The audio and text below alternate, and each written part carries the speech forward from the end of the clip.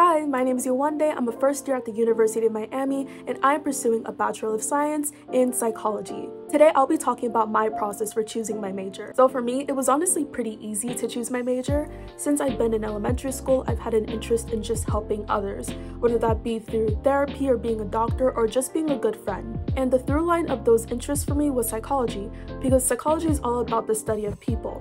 And the more that we understand each other, the more that we can help each other.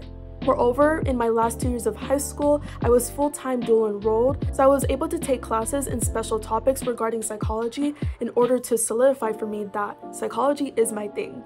Those classes were the easiest for me in terms of studying and getting into and completing work for, so I knew that I was in the right place. My advice for someone who doesn't know what they want to major in is to first just think about the things that they love. Let's say you love building Legos, maybe you can go into architecture. If you find yourself constantly fact-checking your friends about current events, maybe you could go into journalism. The possibilities are endless. And it's okay if you're still not sure years from now or if things seem to change for you down the line.